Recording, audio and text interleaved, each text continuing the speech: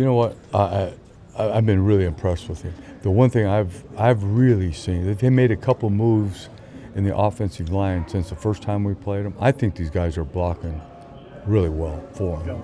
I, I see it. Their feet, their movement, they they know exactly. They, they got an identity on offense in terms of what they're running, how they're running. I see the receivers block. Been really impressed with that. So. Uh, he's a special guy, boy. I mean, he's tough in space. He's tough inside. You know, we got a we got a major challenge. What'd you do well against them week two? I thought what we did, we really hit our gaps well, and then the one thing we have to bring to the table every week is our pursuit, because we had some guys missing, okay, but it was the second, the third, and the fourth guy that keep those runs from being long runs. That's the key for us in space. guy can cut back in space, make you miss. You've seen him, you know. So it's one is tackling in space, but you got to assume you, you know this guy's going to miss. You can't ever believe that one guy's got him and slow down. We got to have 11 guys pursuing the ball and staying on our feet. Good to see Crawford up there today, just warming up up there, saying what you guys. Yeah, he's just uh, out there. Uh, he's old. Uh, get the old neck crick ready to go here, cricket neck, and uh, he's he's fine. What will you miss from not having him this week? Oh, I, I think leadership. You know, he's a leader, uh, versatility, tough. You know, I mean, so physical in the run game, and he's a good inside rusher. Been a really good inside rusher all year. So these other guys get opportunities. We got to step up. Leighton won the 2018 Bob Lilly Award. Can you just talk a little bit about the impact he's had on defense and what an accomplishment that is in his rookie season? Oh yeah, there's no question. I th- the thing is, it's been impressive to me with him.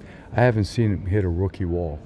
You you see, and that's the same with this back we're playing. I, I don't see a rookie wall where all of a sudden the guy starts tailing off. He's gotten better as the season gone on. I mean, it's been impressive. Really smart. I mean, physical. He's just he's a he's a playmaker.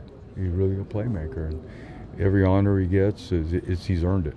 Rookie wall, do you do you view that as kind of a real thing? Like when guys get to the end of what would have been a college season? You know, I've, I've seen it. I, I don't know. They don't play as well at the end of the year. Yeah. You know, the grind of the season, and uh, we practice. Our pace and our tempo was hard, very demanding on them. And these guys, all of our young guys, have been really good. You know, and uh, that's a credit to them. Coach, there's been a lot of talk about Richard with other coaching jobs. How valuable he's been, has he been to you? Oh, I've said, you know, I stated that the very first day he was here. Unbelievable. I, I just think the guy is, uh, I'll say it again, I think he's really special, bright, knows the game of football, but can communicate it, and he's a great teacher. I mean, he brings a lot to us, you know, and uh, special guy. Rod, what, what makes Randy so effective? You know, I, I think one, he's he's got that. You you don't find those guys in the draft very often when they come. The guys that can, that he's fast, okay, but he's got explosion, the, the twitch and the quickness off the ball. He's got elite bendness where he can really bend.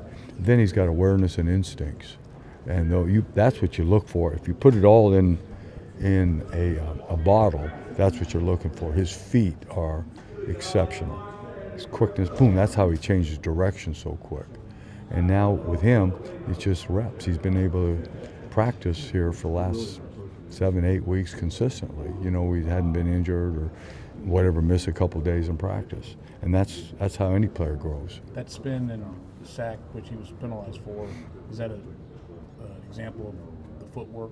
Footwork, balance, awareness where the quarterback is. I mean, it, that was a it was a tr- he's just like Gumby a little bit. I mean, he hits you and he stays up. He doesn't fall down. Really good athletes. Watch him. You know, I always chart OGs in a game on ground, and I chart guys when I evaluate them. I want to see who's on the ground and why, and uh, it tells you a lot about a guy. When you reviewed that play, after watching it, any alteration in how you're viewing what, if he did anything incorrect? Um, Oh no, I thought he, he tried his very best to do what we coached him to do. You know, we, we worked real hard on that, and uh, you know they got a tough job. The officials, you know, they got to see it quick. So in the film review, you just shrug your shoulders to him? I, I yeah, kind of. I just said, you know, he, he hit it. I, you know, as we teach it, that's how we're kind of teaching it. And I thought he he did everything in his power, but you know, it's how they see it too. surprise you that the people in New York are trying to run Eli out of town? Trying to who? Run Eli out of town. the people in New York are like, we're ready to move on from Eli. That's surprising. Oh, I, You still see the same. oh man, he's a warrior. I mean, he's been the MVP of the league. He's been uh, he's got two Super Bowls, and every time we play him, we're we're we got to be locked in. We know what this guy is now. He's a winner, and he's got still got a terrific arm. He knows what to do with the ball. How different are they without Beckham out there? Well, anytime you lose a a, if we didn't have a guy like Law up, it's going to affect you. He's an impact player, a great player. Tell you what, I've been watching those guys block, and I, I'm 87 and him blocking downfield in the run. I've been impressed now.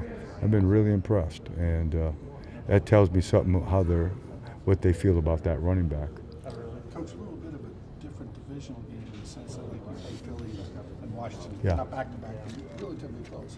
And now you put Yeah. 14, 15 weeks Yeah. your first time. So you have to go in with the mindset that I'm looking at this, these guys with a fresh set of eyes. Just about, yeah. And I, I just think their identity and uh, offense has been really good. You know, they've But has it changed since week two, kind of? Not, not really. The passing game, the runner. To me, the runner's getting in the groove. So some of the bend back plays they run, but I mean, it's you can fit these runs up, but you don't know where he's going. You know, you just got. Our thing is we got to be disciplined in our gap control, press our gaps up the field, and trust that each man's going to do his job. And then you got to get off blocks and run. So with Barkley, it's not necessarily that they've expanded his repertoire, but maybe he's just seeing more he's and just evolving in he's playing with such great awareness and instincts. You know, it's uh, he's a lot like a bigger Barry Sanders type, as I see it.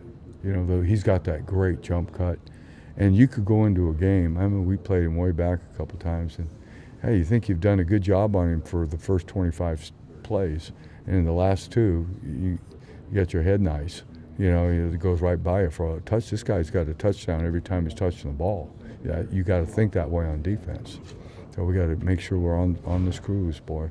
And uh, the last thing you want to do is not have great run defense this time of the year. You got to keep playing the run because uh, the, teams you start to see all have great running backs now. They all have runners. Excuse me. Um, Antwaun Woods, when did you know you might have something with that guy? I, really, it was when he came back and he had lost the weight. I said, "This guy's." You always tell guys to do it, and they come in and, "Oh, I missed it by 13 pounds or something," you know. And uh, he came in like that. But He- just because you lose, I could go lose weight if you ask me to, but I can't play defensive tackle. Yeah, I think that he made a statement that he wants to. That's what I see. First of all, that's a commitment, and he was committed to doing what we asked him to do. And so, first I see that, mm, and then you can see his snap after that. He lost some of that weight and his quickness. What we look for, that quickness, overlap and stuff. And the thing is, you don't realize I've been on him now for a couple weeks. He's a, he's a good pass rusher, a very good pass rusher. And I don't know if anybody's ever told him that. He, this guy's quick and he's athletic. So he, he's got to keep expanding his game and uh, for the benefit of our team. But he is tough. In camp, he was like a bull out there every day. Every single day he came out working. So was there a particular day though in camp, preseason game where you said I, th- I thought it was in camp. I just the run. I got him in there, and he was just knocking the center backwards and making plays and nine and the pod drills, and he just kept constantly showing up. And the consistency is what jumps out at me. It was every day. He and the one thing is, I think you, talking to him, he's extremely bright, very bright, and he's like the golden cock, very, very, very, very smart, and uh, so he's got a. We, we've been very fortunate to have him. Really like him. How much do him and Maliek Collins, when they're playing the way that they have been playing, how much does that make it maybe a little bit easier on Leighton and, and oh, Jaylon in the run game? No question, because these guys, boy, they're upfield. They, they that low center grab good feet, good base, good hips. Boy, and they can disrupt the line of scrimmage. What we want. They're not sideways guys. They're explosive guys up the field, and which starts to disrupt, you know, blocking patterns and guys that are pulling. They're disrupting those guys. It's everything for us. All works together.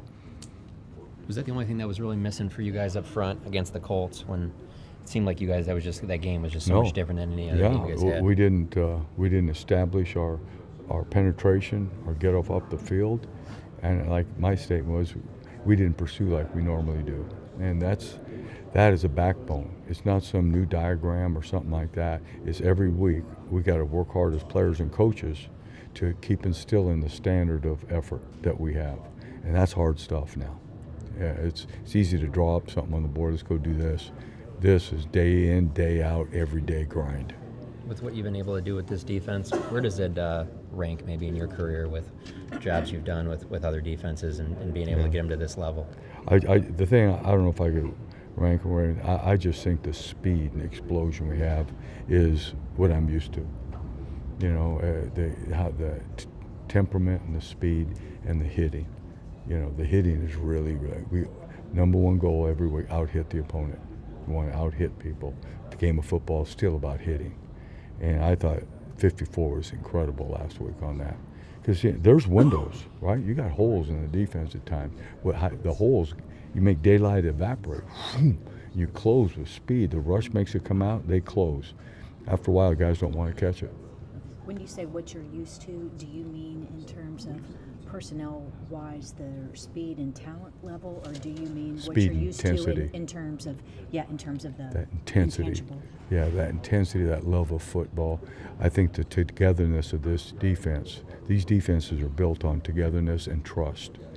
I mean, you look horrible if some couple guys aren't doing their job. Things are breaking on you. But I think the trust that they can break on the ball if they trust the rush, and the rush has got to believe they're going to cover them down for them. They've got to be able to trust if we're running a pirate, the ball where the ball is going to be directed. The whole defense is based on trust. Are you still enjoying doing your job as much as you did maybe when you first started coaching? Oh yeah, yeah. God, man, Eh, it's best. I don't know. I don't know anything else would be as good. There's nothing. Do the, the players contribute to that? Do they I don't know maybe keep you young or keep you keep you energized? I think I keep them young. Okay. and uh, and I, I just I don't I just can't see anything better than this in the world. in the world, I, I can't see it. And be able to work with these men and hopefully impact their lives and make them better people and being around the game of football. Done right, it's the best thing ever. Thank you very much. Okay. Appreciate it. And it. visiting with us.